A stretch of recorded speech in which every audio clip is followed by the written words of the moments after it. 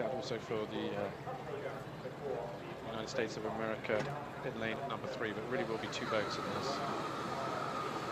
Breeze coming around now to a tailwind at the start, slight tail.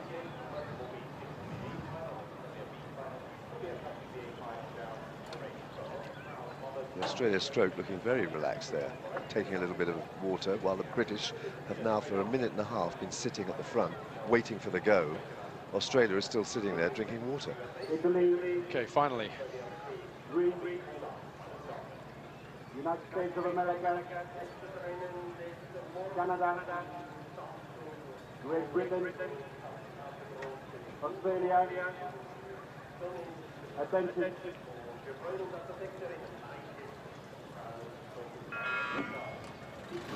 Canadians away in lane number four, a little quicker than the British crew. This is the final of the women's lightweight double sculls. Great Britain sitting in lane number five.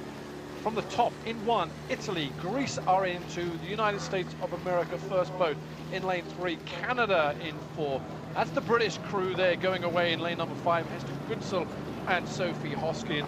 And in lane number six, we're alongside Australia, McNamara, Every Hall are in lane six, fourth at the World Championships last year. But the British now have, quite surprisingly, been just uh, dumped out from uh, the opening 100, 150 metres by the Canadians. Big time. Canadians have always got a length there. Uh, they just shot away. And um, Great Britain almost last at the moment. And that's uh, that's quite quite surprising because uh, they were I don't know if they're sitting there at the front, the front stop there for such a long time was a good idea, because they would have found, themselves getting very tense like that. They were just poised before the start, just sat there for about a minute or so, probably a little bit longer, and poised ready to go. And you should really just sit relaxed until you're called forward. But the Canadians now just stretching out into their rhythm. Remember, this is an event where the lightweight category, the maximum individual weight cannot exceed 59 kilograms and the maximum crew average cannot exceed 57 kilograms. Well, the British have, have, have rectified that poor start. They've moved really quite quickly in the second 250 metres.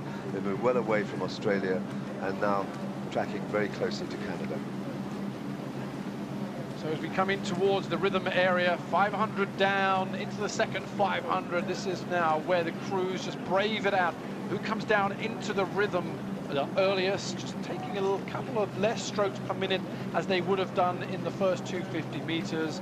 And it's all about establishing great boat speed, just keeping the boat speed moving along. It has to be said that the British crew are suffering in the first 250 meters now, have started to find some speed.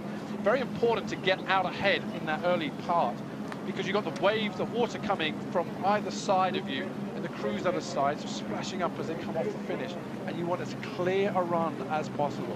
So it's Canada from the United States of America and the British crew currently in third position.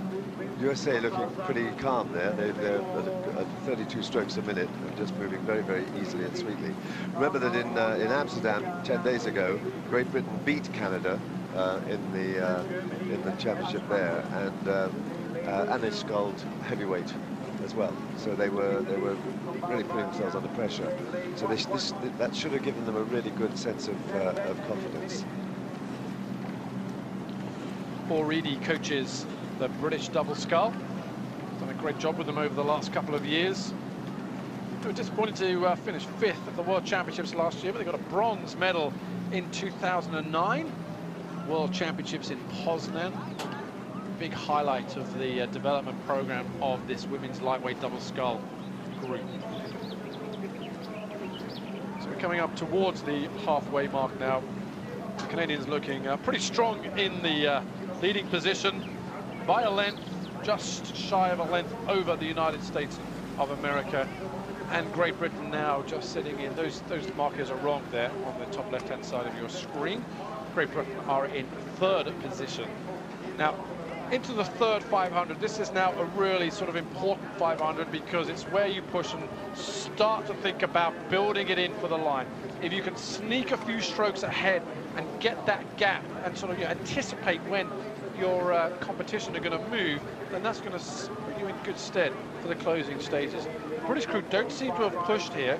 Once, maybe slightly up on the range, stepping it up slightly.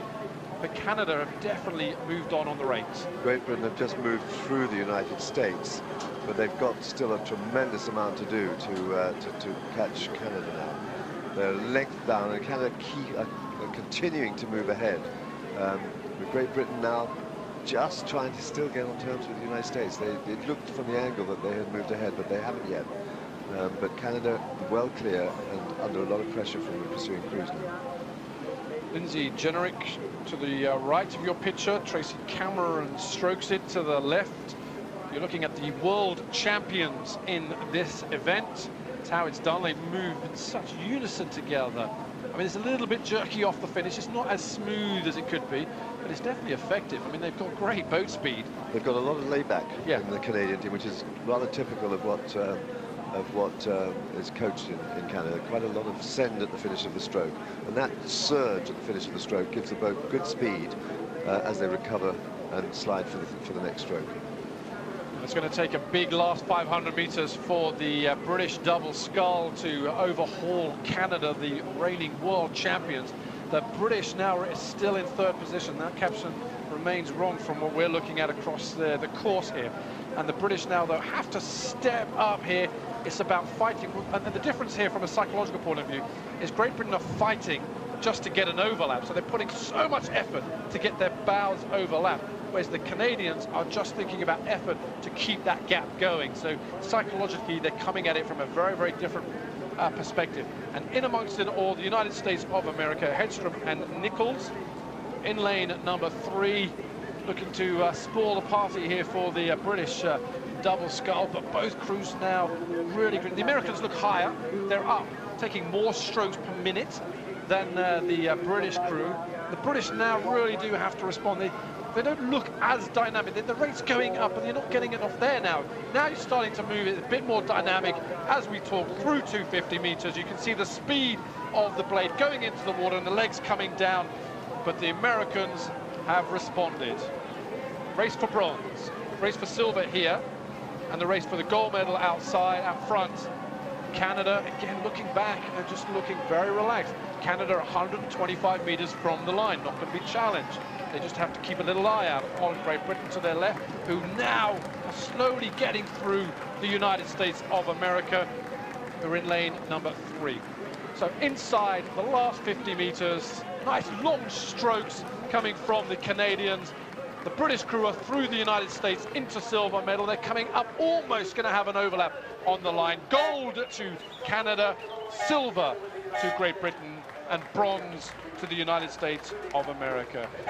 And well, the Canadians look very, very impressive indeed. This shows you just how tight this competition is. The British will be happy, though, with their silver.